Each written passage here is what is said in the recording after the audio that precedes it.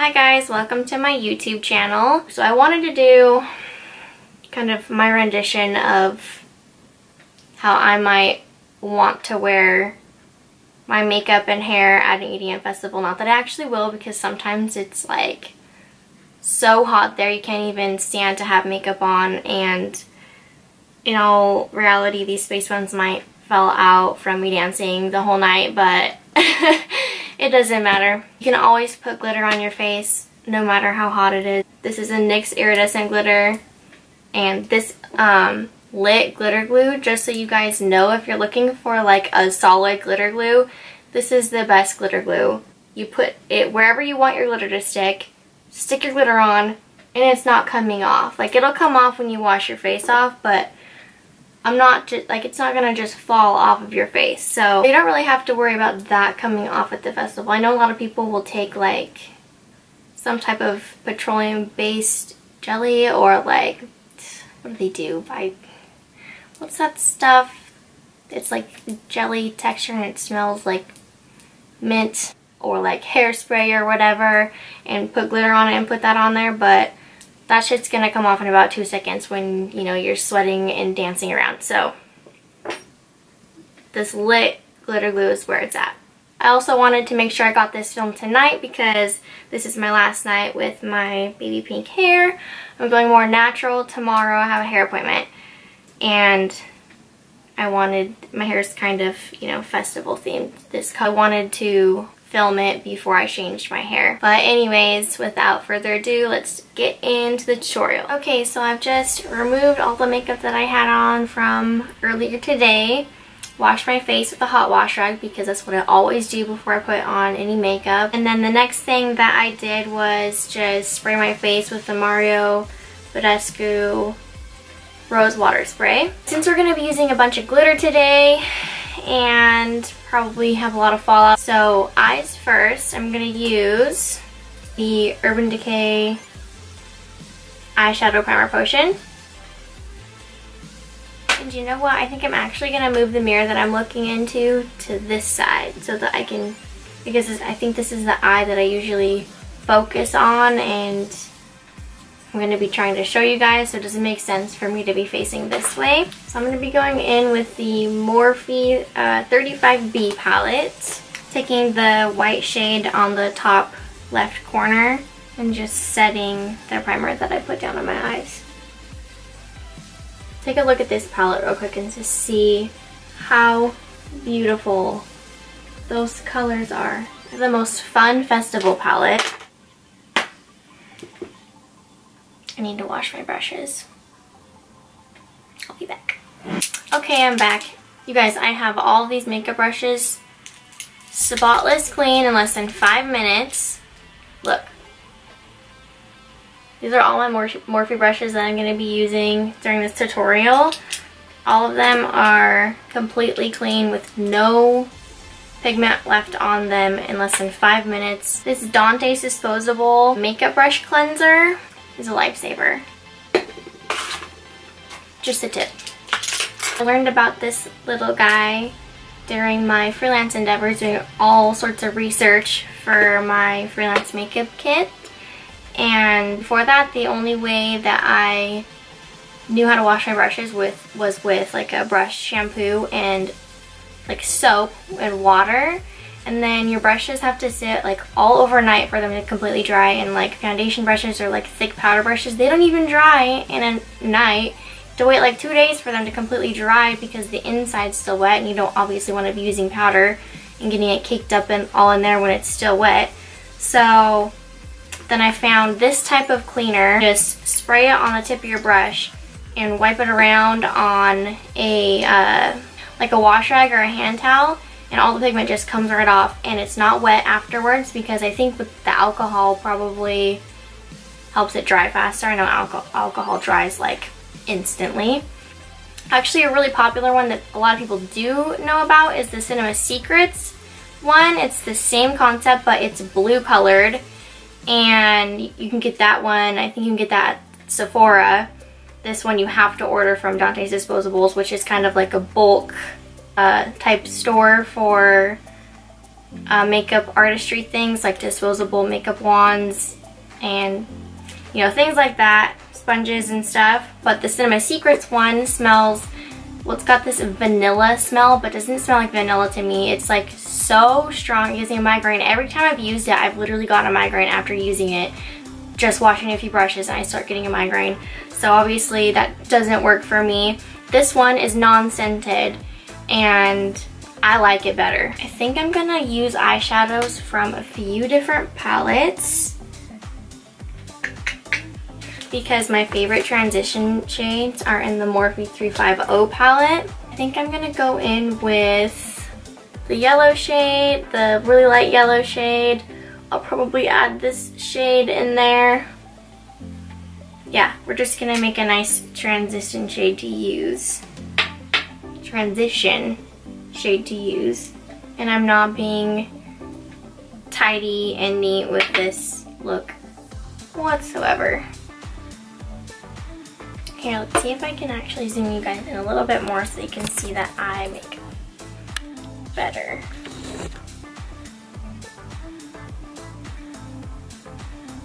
Okay, once I've got the transition shade just built up a little bit, I'm going to take some shadow shields. Okay, so now that you have these really bizarre things on your eyes, I think I'm gonna just start out light and build up. I'm gonna go in with, in the 35B palette, this light pink shade right here. I think what I'm probably gonna do is put this light shade of pink everywhere, even down on the inner corner of my lid here, and then build up darker pinks and warm browns towards the outside. It'll make a pretty, really pretty effect. Okay, I'm obsessed with that light pink shade. I don't know why I've never used that before. I'm gonna go in with a little bit of a smaller brush. This shade and this shade. I'm gonna go in with that one first and then start building on that one with the more orangey red one first. And now keeping that a little neater on the outside. These colors remind me of watermelon because they're like neon pastel. They're like a mix of neon, but they're not super opaque, I guess. They're kind of sheer, but they are neon. And this one especially reminds me of watermelon. It's like the perfect watermelon color. And one thing that you have to remember when you're getting ready for a rave is that you like almost can't even mess up. As long as you slap some glitter on your face and something bright, everyone's gonna think that's what you meant to do. You just don't really have to worry too much if you mess up.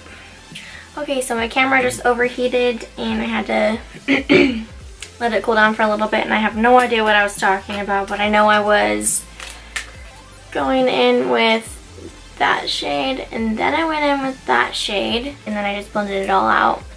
Now I'm going to take this Bare Minerals, it's actually a blush. It's called Hot Shot. I've had it for years. I have no idea if they still make it. But if they don't uh, still make it, a hot pink, like really pretty hot pink color. So any eyeshadow of that color will do the trick.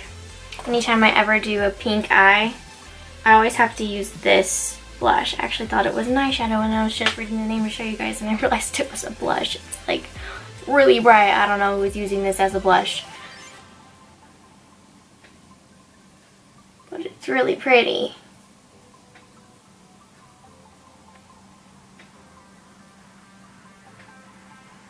Now that I've got that packed on, I'm going to go in with my original brush that had my transition shades on there and blend it out.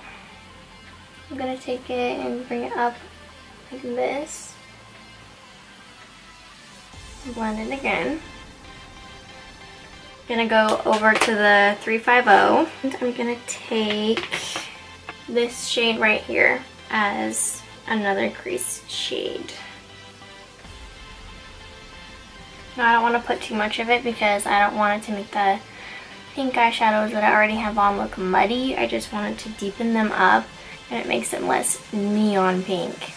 But we don't want this brown shade everywhere, we only want it in the outer corner. Next, I'm to take some darker shades from this one. I'm to go in with that one. It's obviously one of my favorite colors. And we also go and end up going in with that one.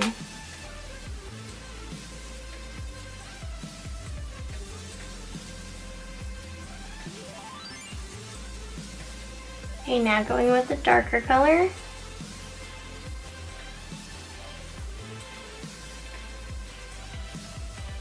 Okay, now that I've got the intensity built up the way I want it, I'm just going to take that really light first pink color from the 35B palette. Keep putting that on the inner part. I'm letting out the inner part here. Because of course, I always get too carried away and get a bunch of shadows on the inner part. Take some white and put it on there too. Lighten it up.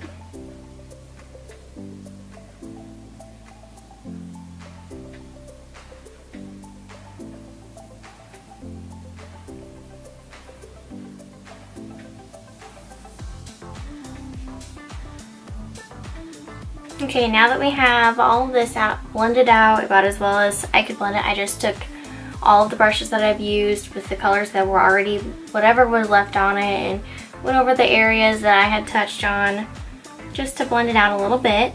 Now I think I'm to go in with this one here and this one here. They're just really light pink. One's kind of a frosted one and one's kind of a shimmery one. Mix those and put it on the inner area and see what happens. Yeah, added kind of a frost, but it didn't really do much. We're done with that part of the eyes. Ouch. Whoa. Ow. Before you put the shadow shields on, stick them on your hand a couple times so that doesn't happen to you. It's like ripping off a band-aid. Ah, they're not supposed to hurt. Okay, so now for face, I'm not actually going to be using a liquid foundation. During the summertime, my skin's too oily and I have to use a powder foundation. I use the Bare Minerals. It's the Bare Minerals Matte Foundation, Broad Spectrum SPF 15. My color is Medium Tan 18. So the way that I do this is I still use liquid concealer. I finally got the Tarte Shape Tape and I'm obsessed with it. It's the best concealer I've ever used. So I'll show you how I use liquid concealer with my powder foundation because we all know that we can't put liquid concealer on top of powder foundation. We have to put it underneath. And you don't have to use very much of this concealer at all. A little bit goes a long way.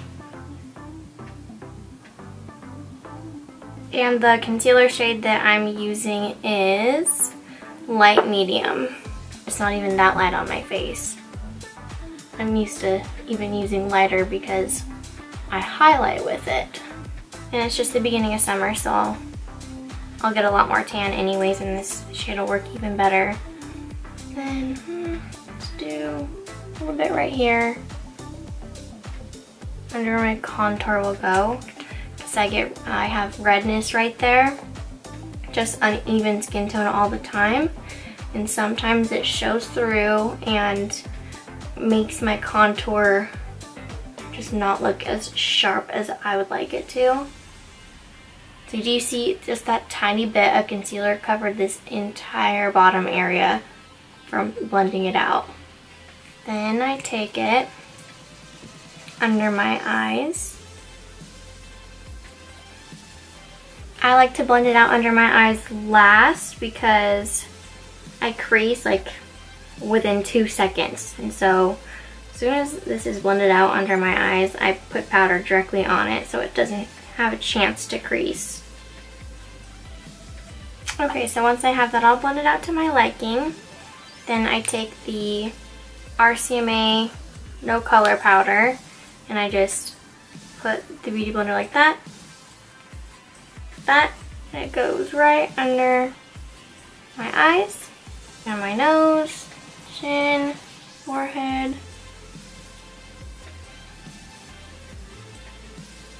Real Techniques just setting brush and wipe it all away. Then I take my powder foundation, tap some into the lid. I take this Bare Minerals Kabuki brush. It's what I always put this foundation on with. It works great. And blow away or tap off the excess. And then just gently and in circular motions rub it all over your face and just be careful not to get it on your eyeshadow. Okay, so my camera overheated again and shut off on its own. So I just finished blending out my powder foundation and then I put my eyebrows on off camera while I was letting my camera cool down. The next thing that I do is take the Anastasia banana powder, the little round disc that comes in the contour kits. I just take the banana powder, I put this under my eyes to further brighten since the concealer is actually underneath of the foundation. I do that under my eyes, on my nose and my chin and just kind of blend it out. I'll even take some under where my contour goes. Nose, put some right there. Forehead. I'm gonna go in with the Tarte Pro Glow palette and the powder contour shade, which I have a pan on. It's my favorite one. I'm taking the NARS Ita brush and just going to pretty sharply contour and then I'll bronze after and blend it out.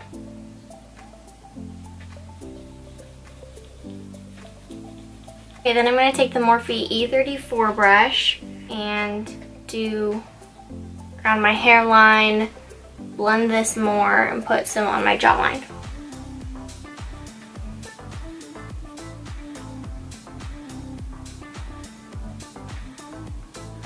Then I'm going to take this Morphe blush palette using the Morphe E4 for a blush brush. And I think I'm going to take this one and this one together. So probably those two.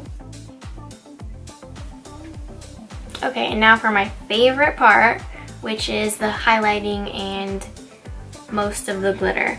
I'm going back in with the Tarte Pro palette and my favorite highlight shade that I think I've ever found besides Jaclyn Hill and Becca highlights is this one. It's called Stunner.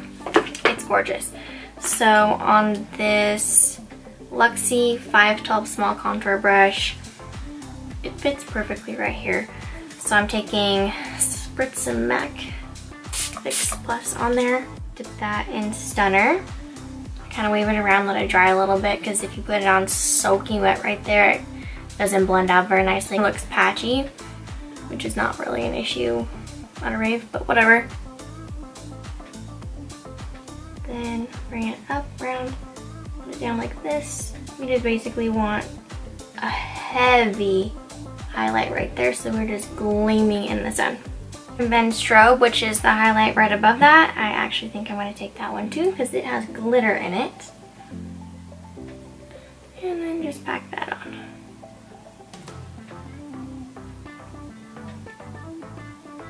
You can't have too much highlight at a rate. You just can't.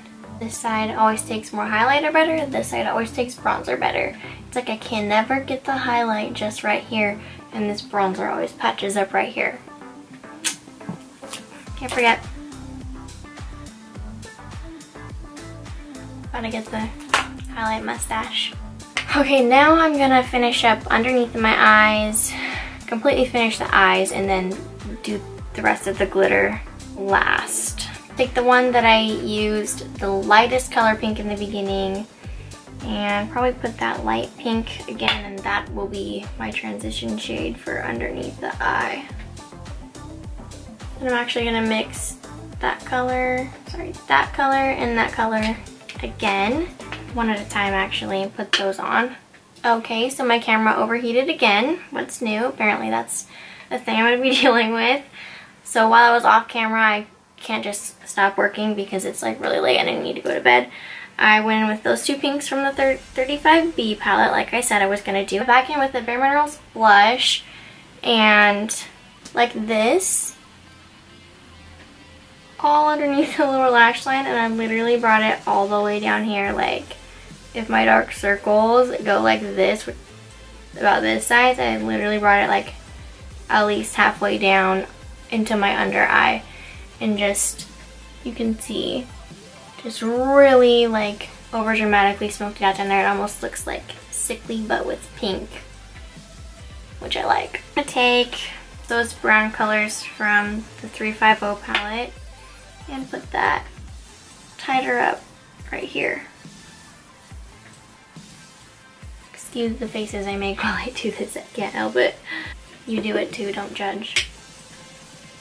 I'm gonna actually deepen up the outer corners on top too because we kind of lost some of that depth and it's bugging me. But just real quick, I'm not being too particular about it now since we've got a huge thing going on anyways. Okay, and then once again, just blending all of it out. Okay, I think the eyeshadow's done finally. I'm going to go back in with the banana powder and this brush again and do it under my eyes again to soften that pink smoky that's right there. It'll just help blend it out. I'm taking the center highlight shade from the Pro Glow palette again on this little tiny brush using my MAC Fix Plus. This is what I'm going to put on my inner corners right now. And then I'm going to take Strobe, which is the white glittery one, and put that on my brow bone. I'm going to take a mixing palette. This one is by Morphe. And any liquid highlight will work. This is the Jelly Pong Pong Cosmetics All Over Glow Luminizing Gel. I got it in a BoxyCharm. I'm to put a little bit of this on the mixing palette and then sprinkle glitter in it, mix it around, and then dab it like that. The glitter that I'm to use, one of them anyways, is by Essence, which is that brand at Walmart that is literally like one, two, three dollar things. It's called Hidden Stories Pixie Dust. It's just a really, really fine milled, I'm kind of a silver iridescent glitter. So if you can't find this exact one, I'm sure you can find a similar one somewhere else. Or just use any, any glitter that you want, doesn't even matter. And this is what we have. Then we just mix it around. More glitter. I'm just gonna take it on my finger and dab it.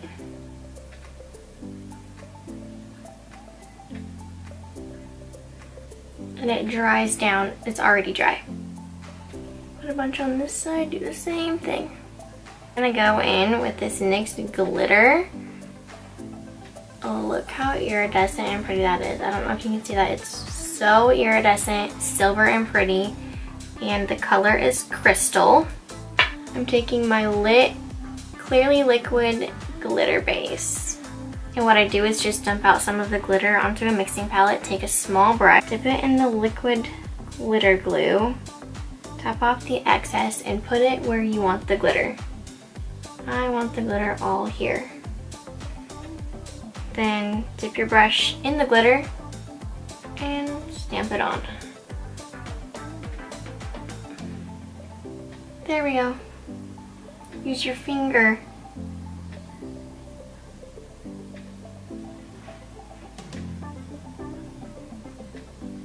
Okay, so my camera died again. It keeps dying and overheating, dying, overheating. So while it was charging for a minute, because it's like 1 in the morning and I need to go to bed, I have to get up at 7.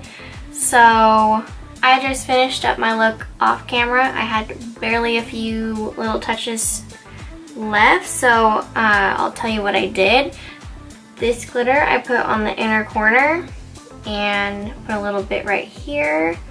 I just, this NYX white eyeliner on my lower waterline right there to just brighten the eyes up a little bit more. I took this NYX Butter Gloss in the shade Meringue, put that on my lips. Then with my Tarteist Pro highlight color in, I think it's Stunner. Yeah, and Stunner. I just took like a little eyeshadow brush, did that, stamped it on top, and just stamped it on top of my lip gloss, and it makes like a metallic gloss immediately. Don't you have to go out and buy metallic glosses. Just put highlighter over top of your lip gloss and you have a metallic lip gloss. Oh, forgot. I put on the Ardell Demi Wispies Studio Effects. So here's the final look. Then I would just go put on your festival outfit. I would put highlighter on my collarbones here and on my shoulders right here. So in the sun, it's just, you're just glowing. And that's about it. I just can't get over the highlight, sorry. Thanks you guys for coming by and watching my video. I'll see you next time.